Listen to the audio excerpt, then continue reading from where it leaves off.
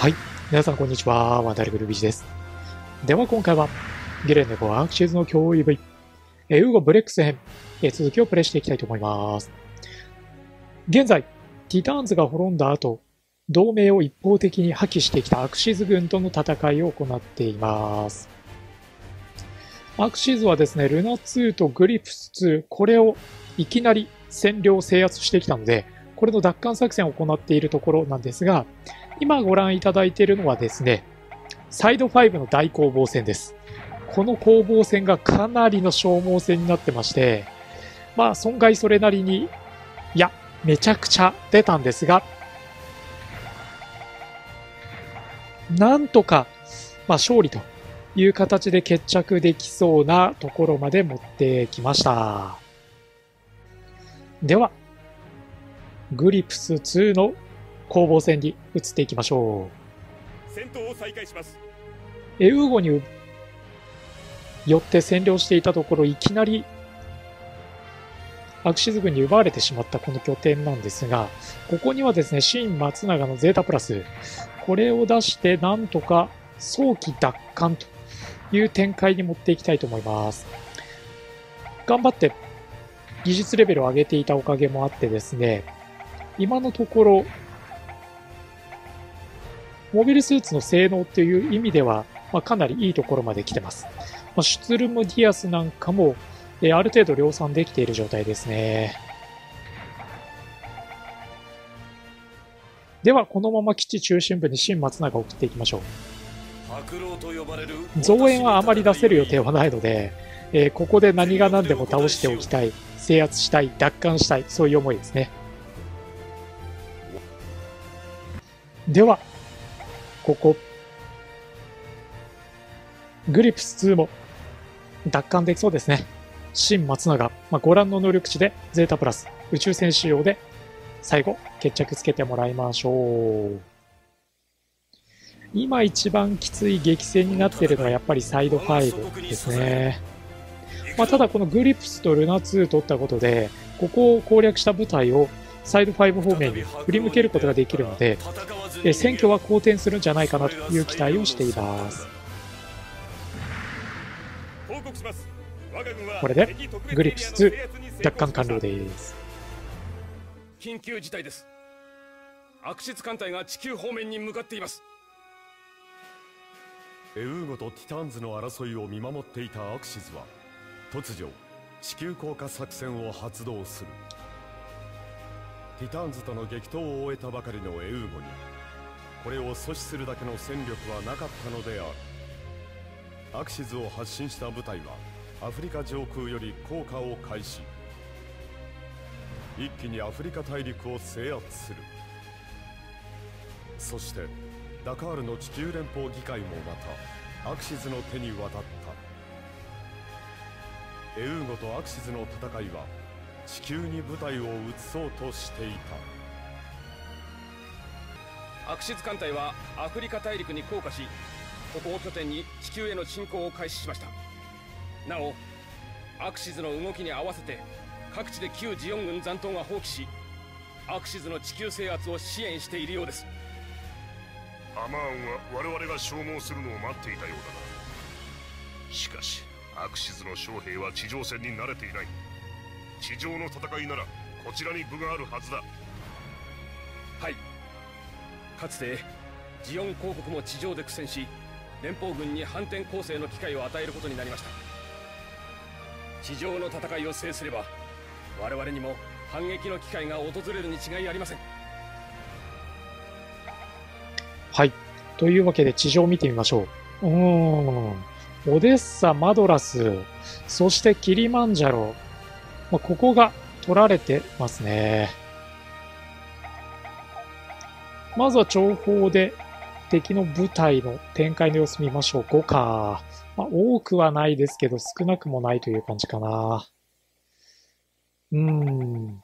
まあ、ただ、敵が戦力を整える前に、やっぱり進行しておきたいなという思いは強くあるので、ここは無理してでも地上戦を行っていきましょう。ではまずキリマンジャロに入ります。いやー、地上での戦いも苦戦しそうだな。敵の編成を確認してから出方を伺いましょう。ドライ戦かなこれ見るとね。ドライ戦らしき機影がいくつか見えますね。ちょっとあまり無理はせずに様子を見て出入りしたいと思います。やはり敵はドライ戦ですね。まあ、格好撃破してなんとかしのぎましょう。この窮地を。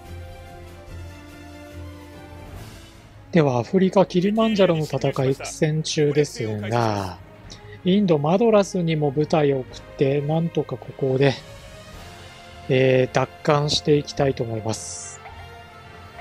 ここはですね、ロベルト、あとはミリー・チルダーの DJ、この辺りを使ってうまく戦っていきましょう。ここも敵はドライ戦ですね、マドラス。いや、ドワッジも混ざってますね。まあ、ドワッジであれば十分いけるかな。さて、キリマンジャロに戻ってきました。キリマンジャロにはハヤト。これを投入してます。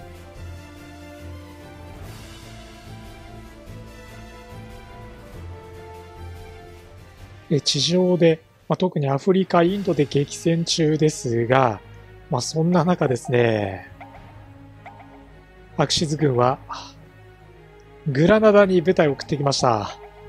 いや、本当にキリがないですね。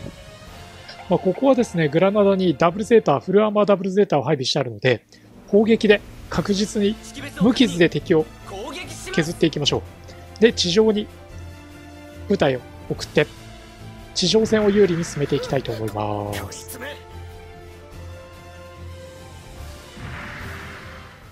はい。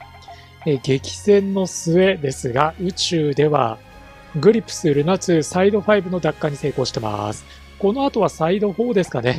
えー、ここの奪還に向けて部隊を、まあ、移動させていきたいと思います。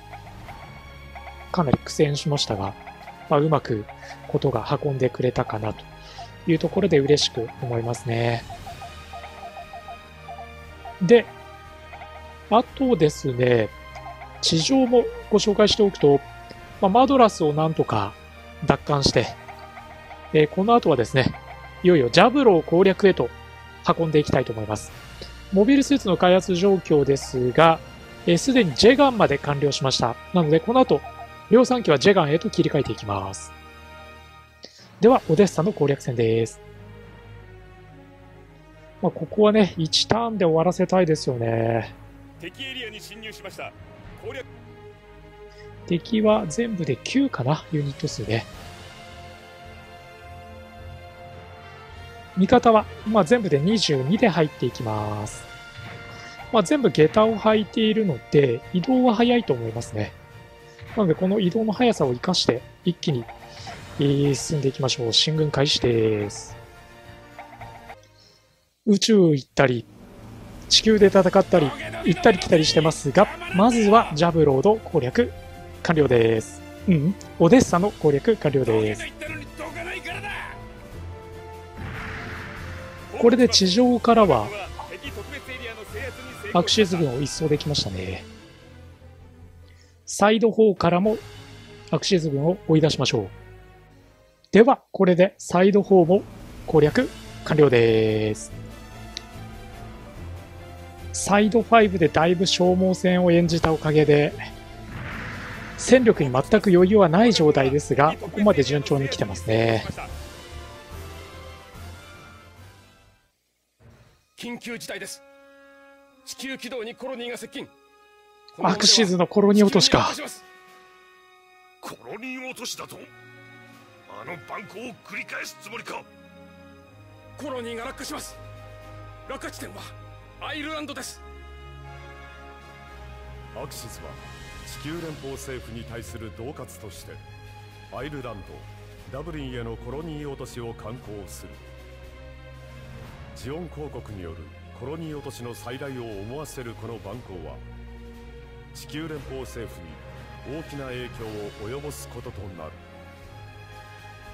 エウーゴとティタンズの争いによって始まった戦争は新しい局面を迎えようとしていた。アイルランドにコロニーが落下しましたベルファストにあまり部隊は置いてなかったので、まあ、ほとんど損害はないかなとは思うんですけどね。開発部の報告をご覧になりますか？諜報部よりはい。えー、コロニー落とし食らいましたが、おそらくそれほど、えー、影響は出てないと思います。